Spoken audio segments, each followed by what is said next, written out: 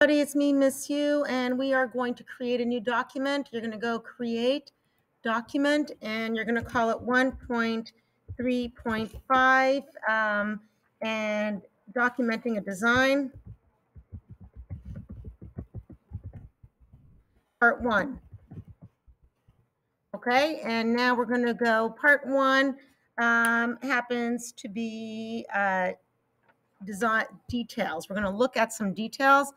We're going to call it part one. We're going to go okay. And for, we've been creating a lot of parts and instead of creating a part, we're going to download a part. There's two ways to download this part. Uh, the first way is through Google Classroom. And this is what is posted to Google Classroom. And then it says download the following file, Trammel Beam MK Step 2.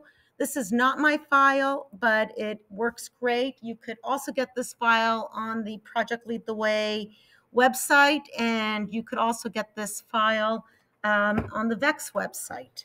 So we're going to let it download. So that's great. And now we're going to go back to um, uh, the document we have, and I'm going to move this in the corner where it says plus.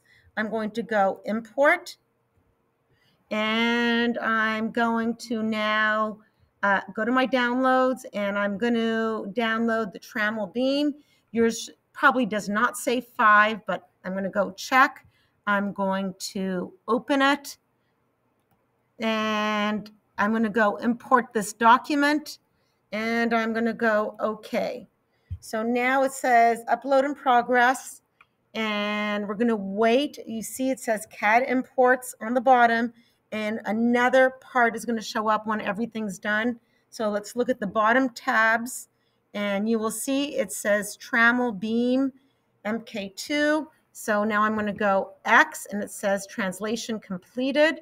The type of file this was was I think it's um, was a file that's compatible with all um, CAD programs. It's called a STEP file. I'm now going to go to the part. Okay.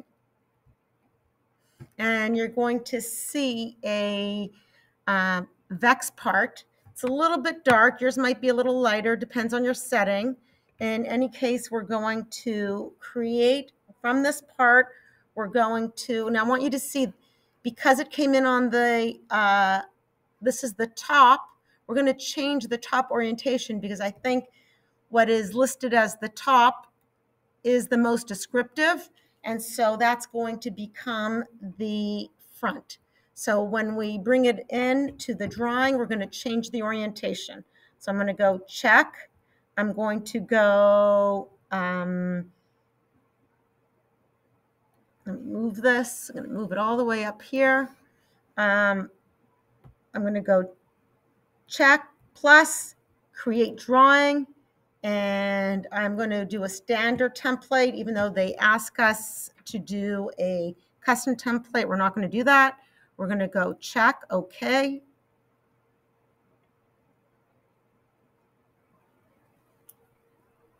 We're just waiting for it to be downloaded. And uh, it says generating preview. I think we could still bring it in. So we're going to select it and um, and it says the top. Remember, I'm going to switch my front view orientation. I'm going to go top and let's see if we could see it yet. And that is my top. I would also like to, and I think I'm going to go back to bringing it in. I think I'd like it a little bit bigger. Um, so my scale, it says two to one, and I think I'm one to two. I think I'm going to try, I think one to one is bigger. Yeah. So I'm going to do that. And now I'm going to also delete uh, this one because I want it to be bigger. Oh, there it is. Okay. So I have it a little bit bigger to a scale of, and now I'm going to delete, I'm going to I'm going to get out of projection view. I'm going to highlight it and press backspace. I want to have also um, a side view. So I'm going to go back to projection, projected view. I'm going to get a little side view over here. And I want a an isometric view over here. My isometric view, I want to be a little smaller. So I think I could write, I, my scale's one to one, and I think if I selected the scale, I could then switch it to, uh, let's see what happens to one to two. There you go. That's my isometric. And I kept my sheet as A, even though they ask us for size B. The reason I kept my uh, sheet in A is because that's what my printer is if I ever want to print anything out. So I'm now going to move these down and we're going to look at a detailed view. And the detailed view has uh, the word A. Okay, and it goes detailed view. And I'm going to, they ask us to do a detailed view of at least three holes. So I'm going to select the middle hole. Okay, and I'm going to do a concentric circle around it right until here. Okay, and I'm going to bring it up over here, right in between the two views. Okay, and my scale is one to one. Um, I wonder what would happen if I did a switched it to two to one. Let me see if there is a two to one because that should make it even bigger and easier for us. Then we go to two to one. Ooh, I didn't want that switched. So let me go back to one to one. Okay. And um, I'm going to, oh, it, my detail scale is a two to one. Okay. And I'm going to move go escape. I'm going to go check. Okay. And this text, I'm going to move it aside so we see it a little better. And you see the circle over here that's being uh, with an A. Now you could see detail A, and that's an enlargement, and you could go three to one depending on the size of your paper and the size of the original one. So uh, this is the basics of what we want. The next thing that I want is um, a detail of section B, but we're going to do that once I have all the measurements. Um, if you look on the next page, you could see um, that is called a section view when we cut it across. So uh, now we want the overall length, width, and height. Uh, those are the first three measurements that we like to always do. And for the over, so we're going to go to dimension.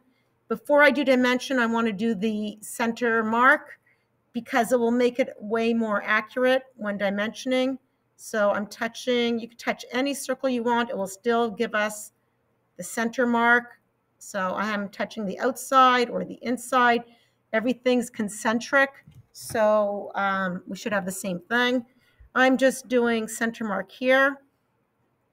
And I'm going to do center mark over here, one, uh, center mark over here, and center mark over here. So I did the first two and the last three. Um, once I have the center marks, um, we're going to start with the overall um, distance. Okay, it's going to be a little bit crowded um, so the overall distance, I'm going to go, we want the min and the max. So let's see the maximum or minimum dimensions. So it has it between these two points. And I think I'm going to do the top view for that. I have one and two because this is so small, it's hard to see. So let me get, did I lose it? No. I did the ma maximum or minimum dimensions. Let me see, I think it's meant for actually a circle. So let's see if I could do it over here.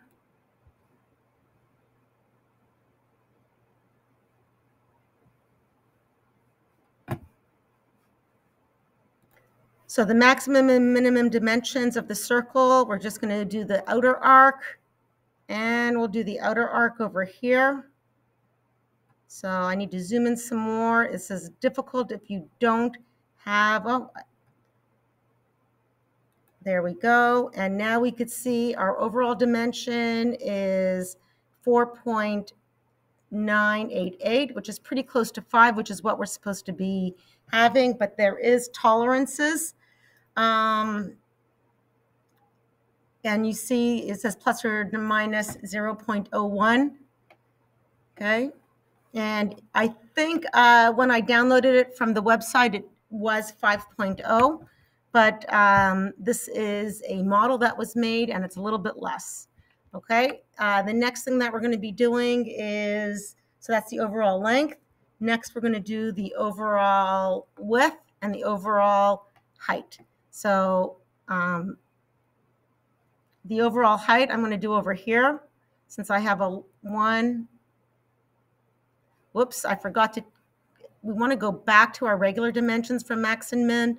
Those are only for um, radiuses and diameters. And now we're going to do the overall height.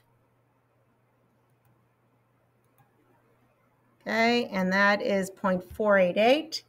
And the that's the overall um, that's the overall height or width. And now we're going to go, I'm going to get out of dimension. I want to move it and I want to recenter things.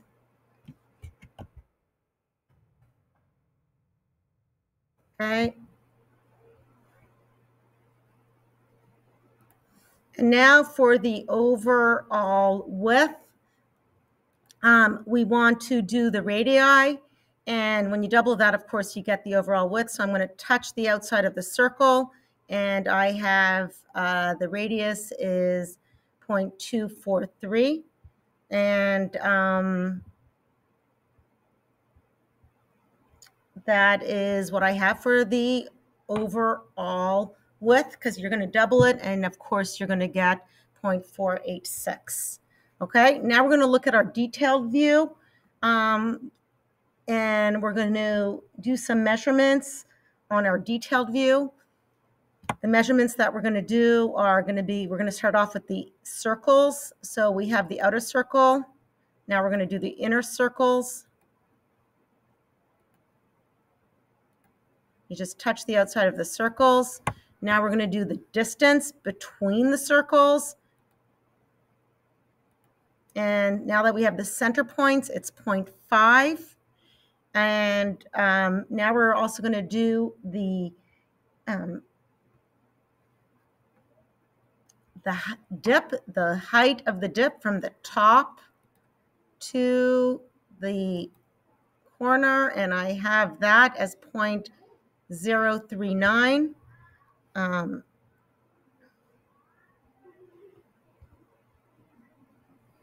and we're going to do the height from the, so that worked out 0.039. We're going to do the height from here to here.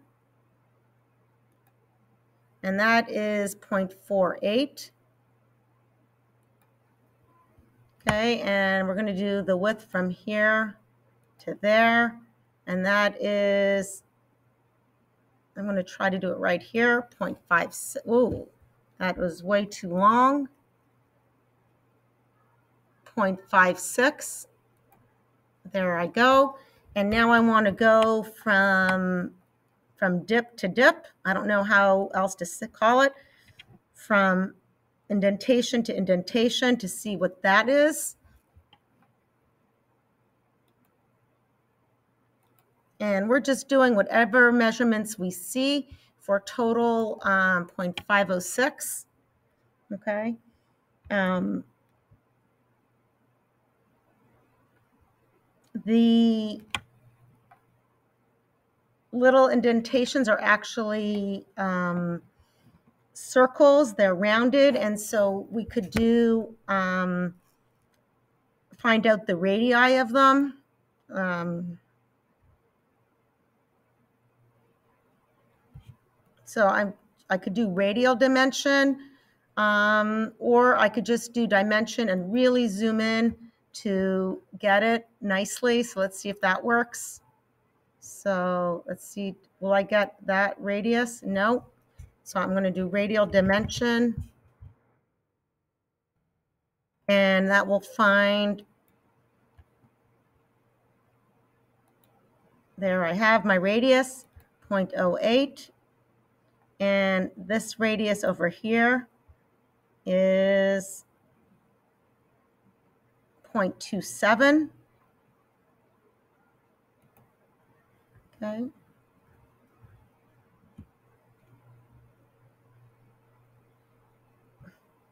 It makes me think that this is not a radius, it's probably a straight line. So I'm going to get out of my radial dimension, I'm going to delete it, and I'm going to redo it, okay? I'm going to go back to my radial dimension, and I'm going to really zoom in over here. Nope. It seems as though my radius is 0.08 for the outer one and 0.027 for the inner one. And let's see if I'm missing anything. Um, I think I pretty much, uh, let me change this to isometric view. And to me, when I'm looking at it, I feel I have almost everything. So let me take a quick look again. The only measurement that I think we might be missing is the inner circle. I see I have the radius of 0.124 and 0.124 again. So I'm going to uh, right click it. I'm going to go delete and I'm going to go uh, dimension again. And I'm going to get the inner circle over here and let's see what it comes out with 0.165. Great. And the last measurement might be um, the distance from the indentation to the center. So let's do it over here from the indentation to the center. And that is 0.256. So it's pretty messy. It's very busy. Uh, they might have had a, an additional measurement that we wanted to use. It does not look like we're doing the top view at all. So we could delete the top view to make it a little bit cleaner. Um, let's get out of dimensions, select it, backspace, and this is it. The next thing that we're going to be doing is we're going to be look, looking at the section view. Uh, we're just going to go switch to section view and we're going to go vertical. We're going to do the vertical section view. And I'm just going to do it at any point. I think I'm going to try to do it right in the middle over here in the middle of a circle. And let's see what it looks like over here. This is going to be the section view. It is really small, so I'm going to now increase it. Uh, let's try ratio of 3 to 1, 3 to 1, and that makes it nice and big. Um, I'm going to take the words. So I'm going to go check. And now I'm going to take these words and I'm going to put it on top and we could see our section view. And I'm going to move this top view off to the corner and we'll do whatever we could do. Actually, I think I'm going to move this a little higher. And, oh, it has to line up nicely, so I think I'm going to move it lower. And I'm going to put this at the bot, put this right on the side. I'm going to move it lower because I see stuff that's interfering. There, that looks good. I'm going to change, move where the words are. And those words are, by the way, our annotation, which is the next activity that we're doing. And now we're going to um, do a section view. We're going to go through all the measurements we could so we're going to select dimensions and let me see, where is it? My dimensions. Here it is. And we have the overall dimensions of the height, but let's now just find the width.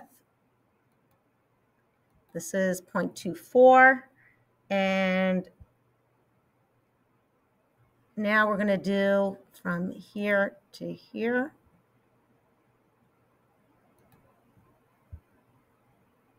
This is three. I'm not completely understanding all the lines, but um, we want just the overall dimensions, 0.51.